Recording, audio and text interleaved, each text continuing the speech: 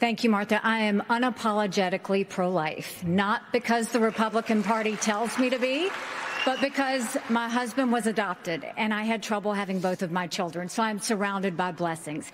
Having said that, we need to stop demonizing this issue. This is talking about the fact that unelected justices didn't need to decide something this personal because it's personal for every woman and man. Now it's been put in the hands of the people. That's great. When it comes to a federal ban, let's be honest with the American people and say it will take 60 Senate votes. It will take a majority of the House. So in order to do that, let's find consensus. Can't we all agree that we should ban late term abortions?